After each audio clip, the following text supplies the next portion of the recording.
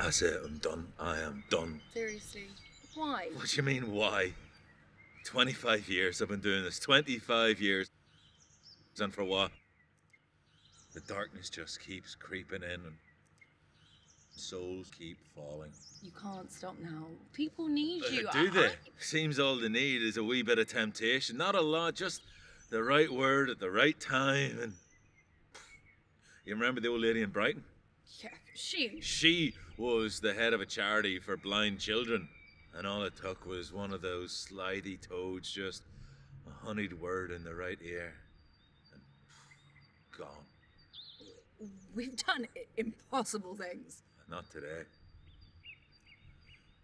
Today we lost. Today I failed. Don't let fear control you. You taught me that. Yeah, well, look like today is a day for disappointment. Here. I've no use for it. Fine. I'll do it myself.